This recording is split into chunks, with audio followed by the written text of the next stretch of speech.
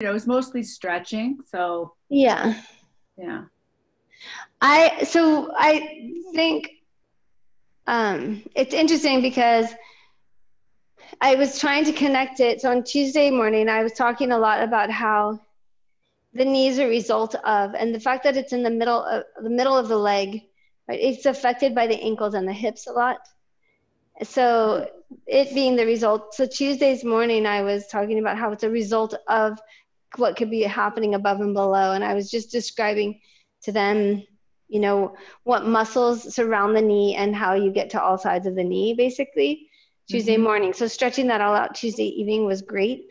Mm-hmm. And then um, this morning, I worked on. I ha- I was more focused on getting these little VMO going and mm-hmm. the getting that and finishing the leg motion because a straight leg there is not the same as a straight leg finished right so and, and a lot of people do that they straighten their leg but they don't finish that motion oh, right. right where all the muscles are now on and that vmo is on so i was trying to tell them this morning that you're wasting some work you could be doing in the short time that you're working so why waste that opportunity? Get that leg all the way on. Um, and and I didn't tell them this, but incidentally, it does. It's a little easier to fire if you have a tiny bit of turnout. It just just a tiny bit of turnout will help. And some people get more of an activation in a dorsiflexion of the foot. I don't know that I find that absolutely true. So point tighten, right? And then activating there really gets it going. But so I had them doing um, like double leg extension hands behind, but looking at their knees and making sure they go all the way straight. Mm. so finishing motion. And, and not, you know, it, I was talking about it about the knee, but it is one of my pet peeves because you lose energy through the center if your legs are not finishing their reach and their motion. So, and and I look at people in the Zoom while I'm doing the exercise, and none of like I would say, ninety nine percent of them are not finishing the motion. Um, so they're losing a lot. They're losing the quad. They're losing the core too at the same time. So I didn't draw that connection through, um, but maybe that would be great. I don't know if you want to try and address that, Genevieve, too. Um, this morning I had them doing that little footwork rolling on the roller too. I forgot to tell you that, where I had them finish it, going out, finishing that motion so the quad goes on and bringing it back. And then on the single leg and tabletop, both of them finished and back in, right? So pause, hold, tighten, and then back in just to get that quad firing. Um, so that was more my today's focus and what i was going to do tonight was stretching but also and then i did um oh, sorry i also was telling genevieve that the other thing that i was having them do was my goal is to get them to find that in any position so plank standing in your plank is the other thing that i like to talk about a lot but what i mean by that is well if i stand up these, and I really want to engage my quads lift, right? And I get strong. My legs are strong. I'm not standing on floppy legs like this. So just as you wouldn't stand like this, when you're in your plank, you don't want to be like this because this is everything's looser. If I am here, I'm on and active and I can stand here for a long time. Same thing happens in the plank, right? If I am here and I'm lazy, yeah, I'm exaggerating just so you can see better. But it, laziness here is not the same as standing. Now I'm standing. I, I can really stand here um, for a while, but I'm standing on my legs. I'm not just hanging out like this somewhere in between. I'm standing on my legs. Um, so trying to draw, and that just from those demos, my muscles are on. Probably because I did that this morning too, but they're really on just from doing what I just showed you. So I was trying to relate that to, so they have a functional version of it, but understand that it's related. So the work they're doing here is also that functional version. Um, and then we did uh, stepping on the band. I did a, I actually did a lot of abduction today. So I did um, this, right, wrapping around and then opening. And I did the um, standing, these, right, all, all the directions, all these. Um, and then I did the hamstring curl this way. So going up, right? And then I did the, um, I wrapped the legs again and did a squat and then, sorry, I'll turn this way. And then I unweighted one and did these oh. um, standing clams so that they would have to find that alignment, maintain that alignment, and then just working the quads and the abduction at the same time, hip rotators, abduction. So that was basically the class this morning, just trying to get that aware. I really, I don't know why people don't just do it, don't just extend, right? I actually have a question about, um, you know, because I think some people, there's like the, the the concept of like locking your knees versus fully extending your knees. Yes. Um, and I know for people who are hyperextended, that's you know a little bit of that, that balancing act that you have to do in standing um, but if the leg is unweighted then there's no reason not to to work the vmo and to really get the quads to turn on. Right. But if if it's just a regular you know like i'm not terribly hyperextended in my knees maybe a tiny bit but um like do you still want people to have just that little micro bend in there and still have the quad on in standing or like because I, yeah. I put that pressure on the back of my knee um, even when I feel like I'm really lifting up and trying to hold strong. um, and so I wonder if that's something that everybody needs to like, I don't know. That's just a question that I've always had. yeah, it, it's a really good one. So you're right. Unweighted, I don't care how far that knee goes because we're not really worried. I, really, then you can focus on the VMO. And I think to get it on unweighted, it's okay that they go a little past. Um, in standing, though, we want to create that control. So there's there are a couple muscles that actually do that work, of stopping you from hyperextending, and they're probably weak in people who are loose or just looser innately. So popliteus is one of them, and then um, the gastroc crosses back there, the hamstrings cross back there. So that little connection, or and there's one more, plantaris, I think, crosses back there. Some people don't even have plantaris though, so it's an interesting thing. Little long, it's then skinny and long. Um, but you want to find that control and standing. But if you are, if I, so I could hyperextend and try and tighten. That's the hyperextension and try and tighten. It doesn't feel great. It just feels like I'm jamming.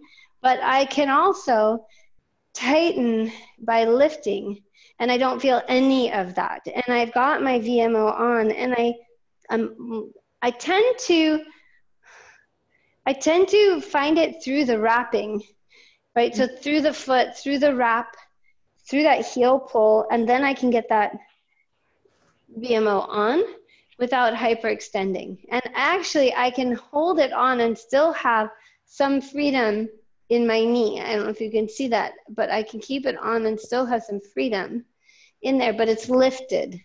So if if when you go too far back, you end up compressing rather than lifting, I think, in standing. So my favorite, this is why this, my favorite one exercise for that to train people, retrain people in standing is the one with the band behind the knee. This is hard to do on, on your own because it's nice to have it at the same level. So tying it on uh, to something or coming in to the springboard or having them put it in the doorway, something that gets it close close to the same height. I can actually just use the spring on the springboard, but it's the same thing, right? Putting the back of the knee in and pulling back enough that you feel like the knee actually it's it's a little it's a little bent and i'm going to just work on pushing it pushing back into that band feel that activation of the quad. So i can use this and the harder is to just stand on the one leg and do it without changing so not ducky butting not doing anything funky and not bending the knee forward right just staying right over my ankle and then letting the knee slightly release and then pressing it back. press lift is what's happening. Press lift. So mm. this is a great, this is my favorite one for just that retraining, how to get you the quad on in standing without hyperextending and having a, and knowing what that end point is. Because I think what happens is people who are so hypermobile cannot find the end point and so they just keep going, thinking if I go further, I'm going to get that muscle to activate. But that's not actually true. The muscle should activate before they get to that endpoint when they can go too far. So, does that help? Yeah, I guess I'm. I'm. So, does that train the like the popliteus and and all of that? It yeah, it's kind of really reprogramming, and it allows the quad to activate properly and lift so that you can find that activation. I can find that activation upward rather than backward. Yeah. Because I always thought that was mainly for the quad, but I didn't think about the backside of the knee. It um it trains the quad, and I I don't know how you would exactly strengthen the back of the knee. Yeah. So I'm hoping that by default they start to learn also. I don't know if there is any specific way to do that uh, other than the job of the popliteus is to unlock it. So it um, unlocks the knee and allows you to bend it. Okay. That's its function. So I don't know how you strengthen it, but giving it that retraining would really, really help, I think.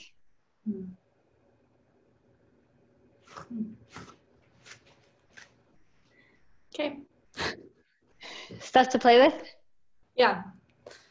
Yeah, because that, that was always just a question for me for like, because I know you're not supposed to lock your knees, but then I would have trouble articulating, and probably because I wasn't understanding myself, how to how to get people to activate the quads and straighten the leg without knocking it into the knee and without um, just I guess buckling into the back of the knee.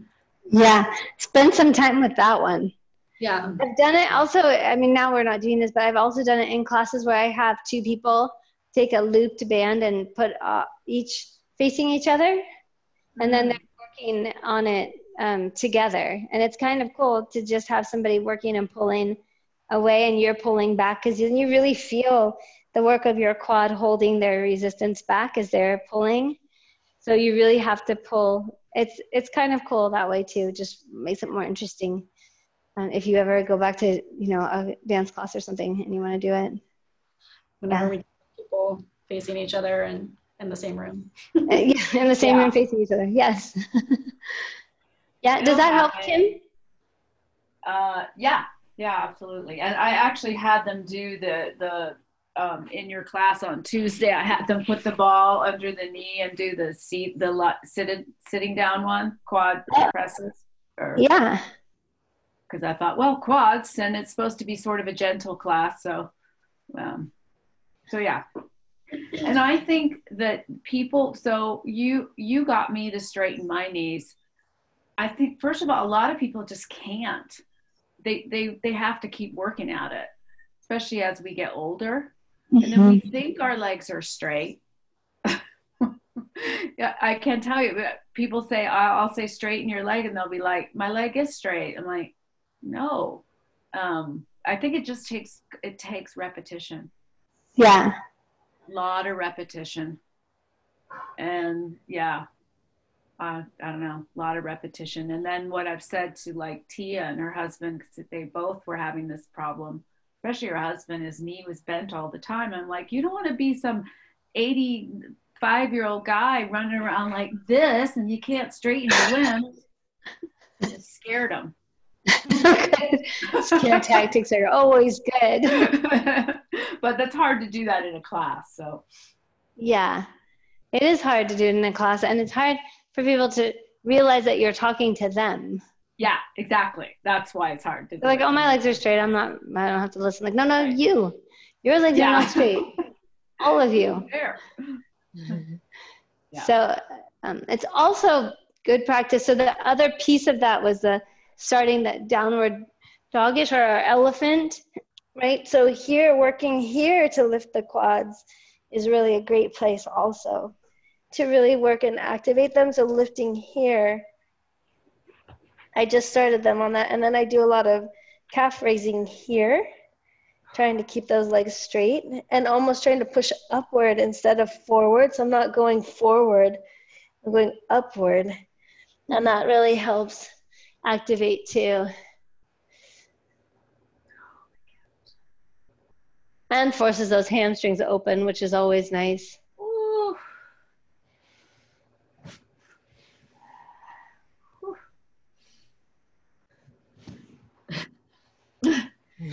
Ow.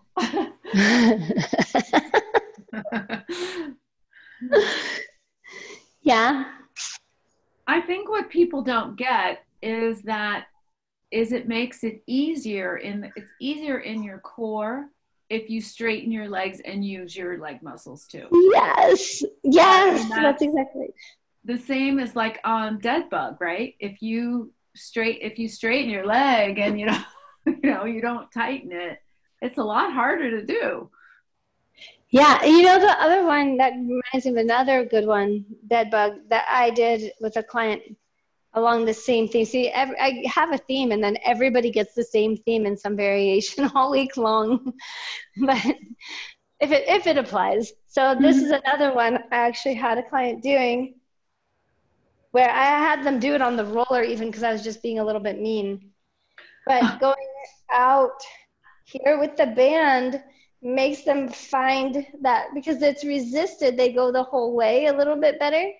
So doing mm. it in and out and finishing that stretch out and then doing it up and down and asking them to try and push from the back of the leg down, right? So getting enough resistance that they can really feel the length through. And the cueing for me is always lengthen, lengthen, lengthen, lengthen away and back up and lengthen away and up. So I find having a strong pull, uh, if it's too much for the shoulder, you might just have them do the legs separately so you can put enough resistance on there. But a good amount of resistance really helps pull that quad on.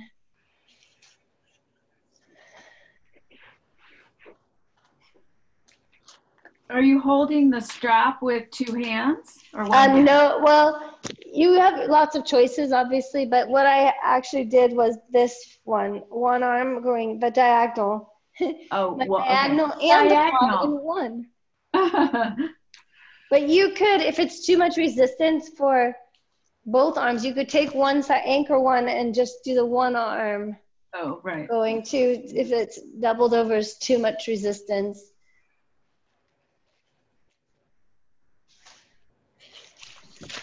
Right. So the bend and straighten gets them going, and then the straight leg up and down.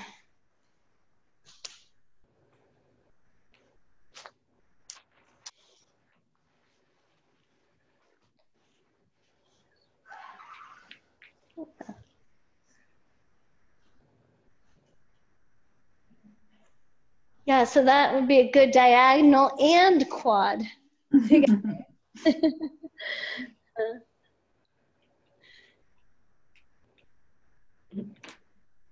I know what we were going to talk about were the spirals of the getting into spirals instead of just diagonals. That's what it was. Finally, it comes to me. So that actually plays into the same theme in standing because the spiraling is what picks up the arch of the foot.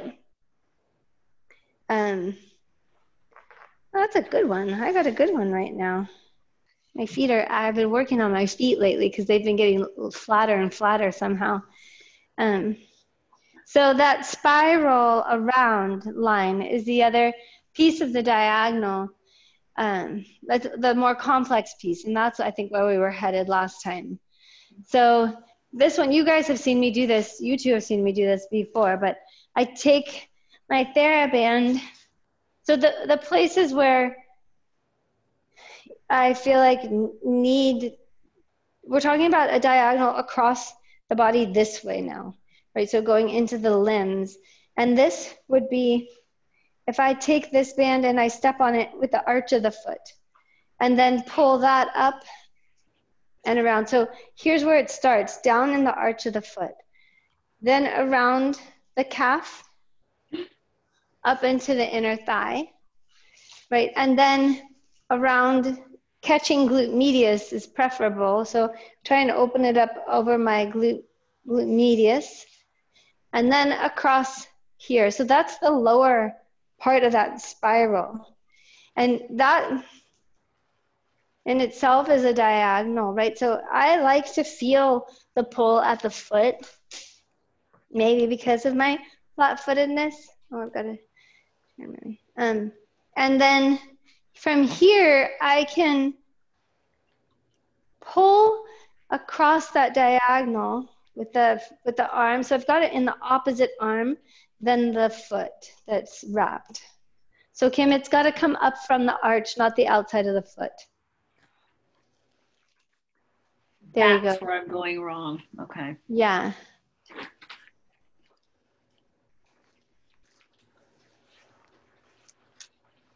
Not too many wraps, not enough wraps. Um, so uh, it's only arch to calf and then across the inner thigh and glute medius. To the glute medius, okay. And then I end up with it in front of me. Why do I end up with it in front of me? Did you come around the front of your thigh? No. So it goes arch of foot. It goes in front of your ankle. Okay. In front of your ankle and around your lower leg. Okay, to the back. And then, and then up to the inner thigh and then around your glute. Oh, it's rolling. You get Come it? On, get with it. Just kidding. You were right. I think you were right, Jen. It's rolling down to my knee. Oh. this is an old band. Yeah. I usually get it there and then I spread it out in the few places where I feel like it's helpful to spread. One is across the buttock and across the arch. Does it kind of cross the back of the knee? It does sort of cross the back of the knee, yep. Great, okay, we got it. Yahoo! So now you've got um, opposite hand in the band. So just standing here for a while, if I pull and I let my body go with it, so pull and let my body go. I end up right rotating, but I'm not letting my foot go. But this is that spiral inside the leg, right? Then I'm gonna fix myself, my pelvis back so I'm straight, but now I have that pull.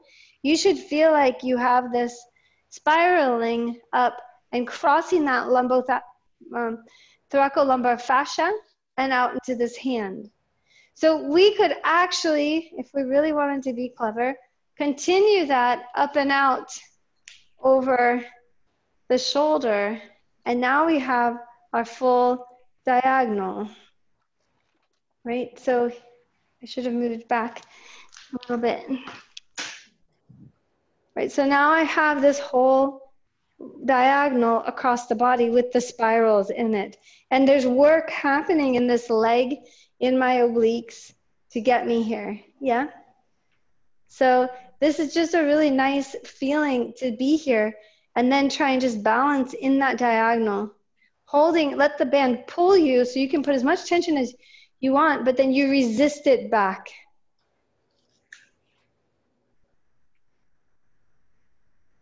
Right, and if you wanted that lat Genevieve crossing, you could go here around and out. Now we've got the lat in it too. So we've got the diagonal because that's the lat here on the opposite side of the foot on the floor. Yeah. So I'm working a lot. I don't know if you feel that work, but I feel a lot of work down in that leg, all around the arch of the foot, the leg, the hip. The oblique, I don't feel as much, but we also haven't had the upper wrapped for very long, and I've been holding the lower wrapped for a long time. So even just holding here is, is big.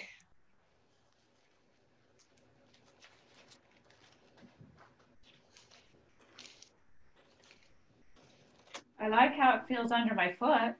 Yeah, isn't it nice? Yeah. And then just pull a little harder and then hold your body position. You'll find that there's a lot of stabilizing work that comes up the chain for that.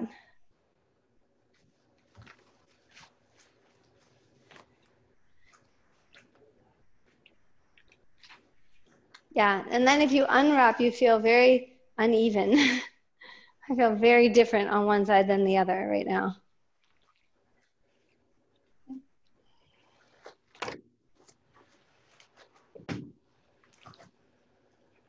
Yeah, do you feel that? The side feels really warmed up and Yes. So I think we have to do the other side. Did you have a question about it or? no, I don't. I'm just still trying to feel it, I think. Yeah, so arch of foot Yep. around the ankle, around the leg, around the glute. And then just stop there for a moment and just collect. So I pull up slack as I go and get it snug. It's very attractive on the legs.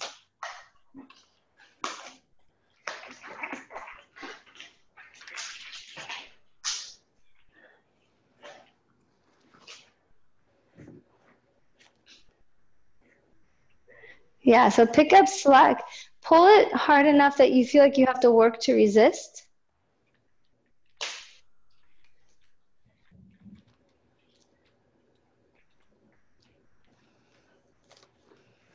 Ah, okay. Yeah.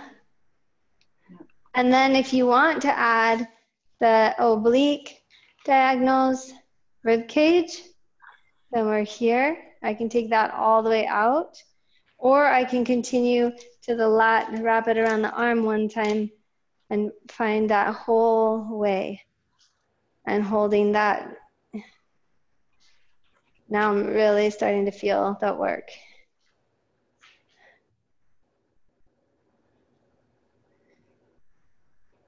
And I think if you're not feeling it very much, pull and rotate towards that side a little bit and then resist back. Pull and rotate and find it back. Then you'll find the work in it.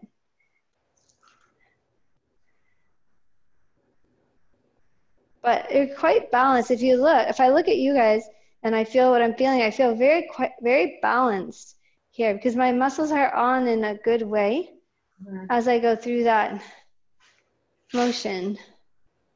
And then huh, I feel like my arches are lifted. I feel like I'm standing really tall without a lot of effort.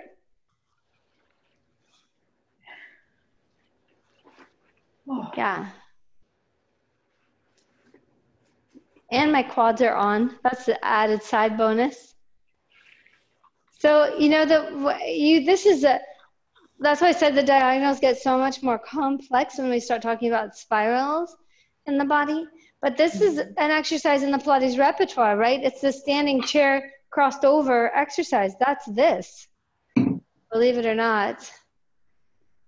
So that's turned out here. This wrapped, rolled right. This side is, if my chair is here, this is wrapped and rolled, and this is on the step like this. That's how you get there. And then when you push down, you grow right? And then release, you grow. So that's that same exercise. And then if you wanted to incorporate it going upward, you could have that opposite arm reaching as you go. Right. That would be that full diagonal on that stance leg. Yeah, so we have it in the repertoire. And that exercise, I think, gets done poorly a lot because people, I don't think, understand that whole wrapping spiral of it. They're just trying to stand there and push with this leg. They don't understand. Yeah. The exercise is really about the standing leg. That is so different than this. Look at that positionally. It's totally different. Yeah. Yeah.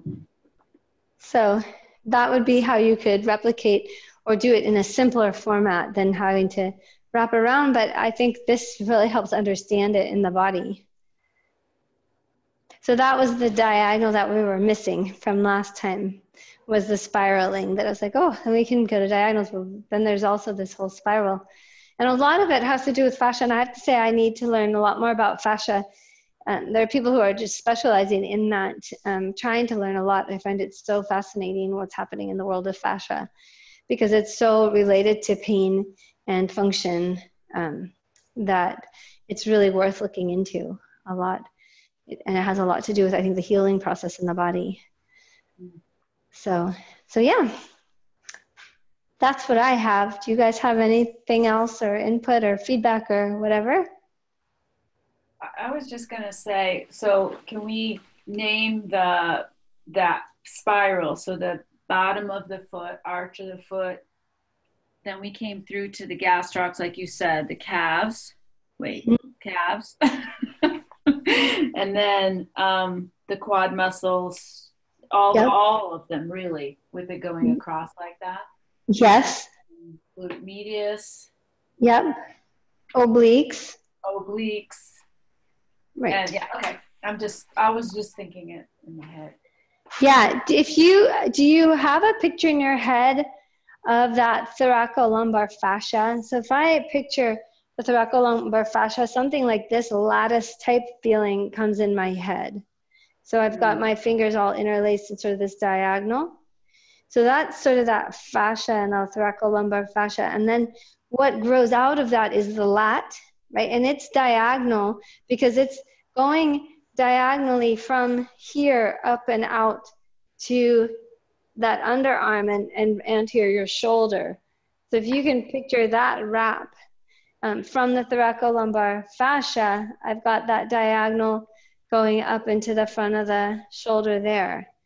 So it's um, and then if you take that diagonal in, across the body into the glute, right, the glute muscles, right, are in this diagonal here, mm-hmm. going down.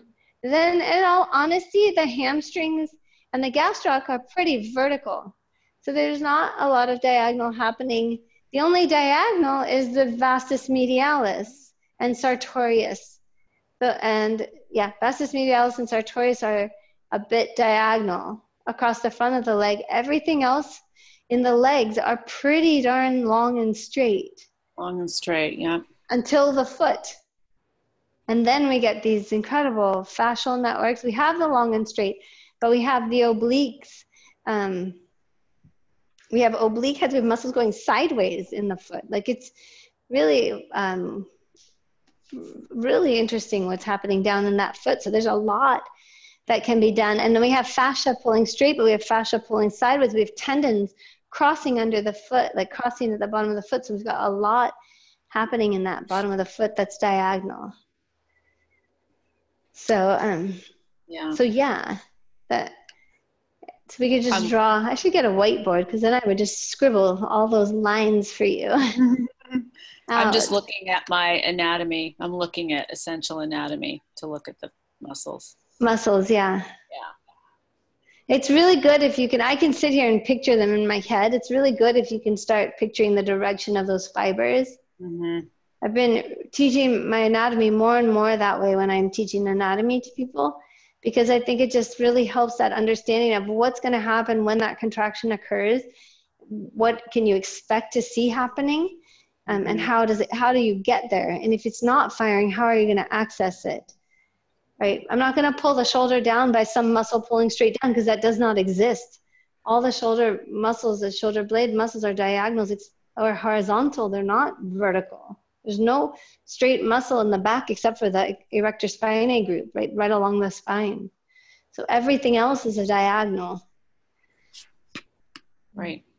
Um, I take rector spinae and the spinalis, the ones that go right up and down on each spine, but everything else is a diagonal. Multifidus is, um, there's a transversal spinalis deep in there that is diagonal.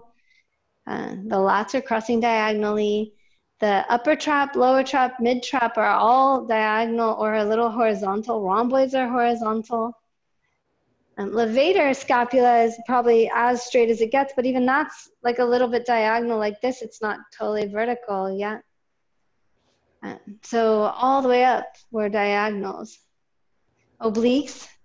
So rectus abdominis is vertical. That's the only vertical one, and it's a big dummy. So yeah, yeah. Even psoas is not straight nor is iliacus. Like they really are on an angle. Mm-hmm. So, mm. yeah.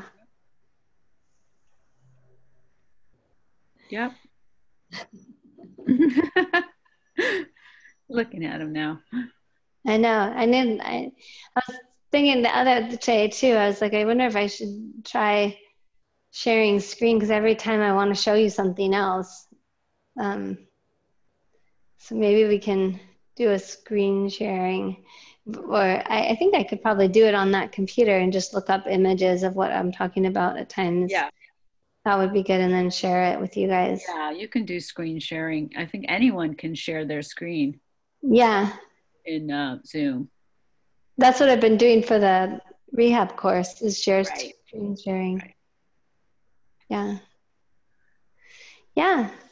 All right. Okay, next week, um, do you want to do stabilizers of the body? The the um, well, I'm gonna do what I'd love to talk to you guys about is um, glute med compared to to serratus. Did we do that already? I think you mentioned it last time. Okay. How, how glute medius is sort of the serratus of the hip. Yes. Okay, then let's not do that one again. Let's do a different one. Um, Let's well, she she mentioned it, but did we talk very much about it? Because I don't remember. I think um, that was kind of it. it. That was the comparison was that it does the same, performs sort of the same function, just for the hip as opposed to that it's lifting out of. Yeah, exactly, exactly. That's exactly right. Okay. Yeah. Yeah, that's it. And that's we wanted to go over how to make that happen. Um, we could do that, or we could pick a totally different theme. I can't remember what my next week's theme is. Offhand, I do have it written down. I can let me tell you what it is, and you can see if that's of interest to you. Okay. I had some good ones. Uh,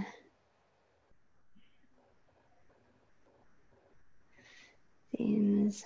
Oh, go away.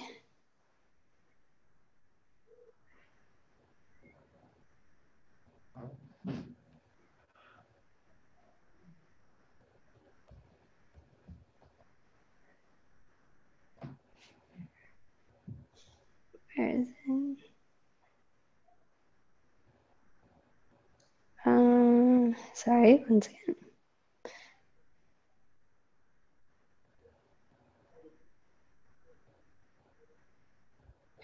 Okay. Um, oh, next week is the super psoas.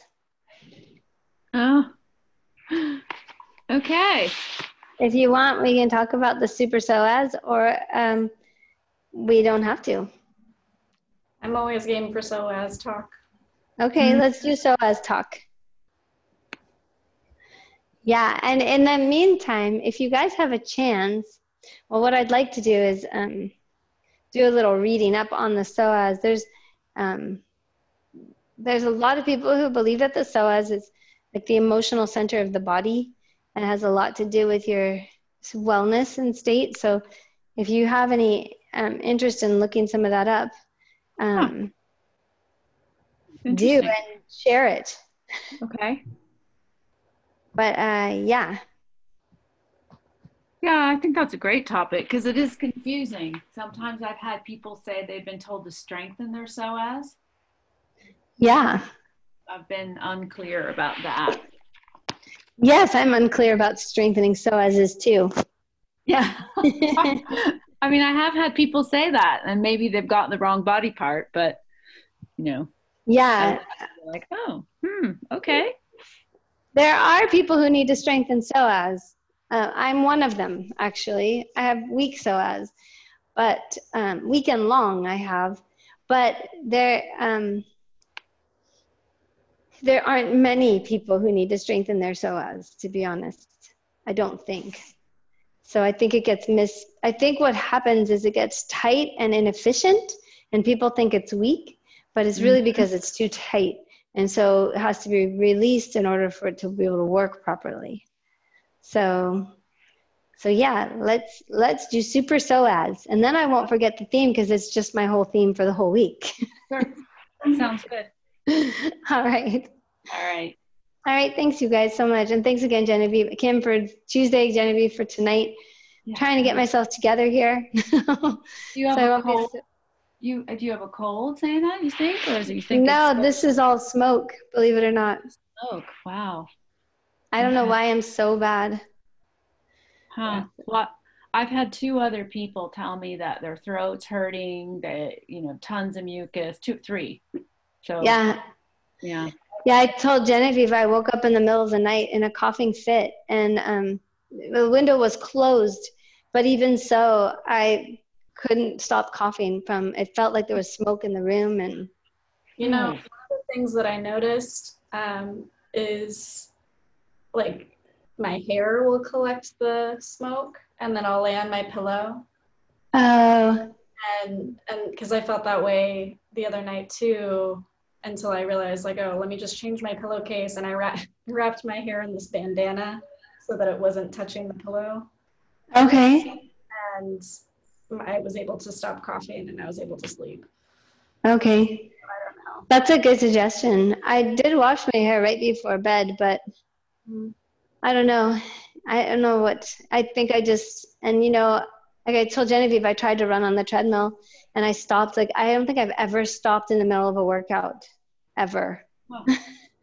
i mean sometimes i've had to slow down when i'm not feeling great but i stopped i was 20 25 minutes in and i'm like i'm done matt sorry matt i'm checking out this run i've never done that to matt wilpers before or anybody but I just couldn't. It was late. It, I probably shouldn't have even tried that late because I had been up too late at night. And but I can usually just do a really easy version of a workout and get through it. I could not last night.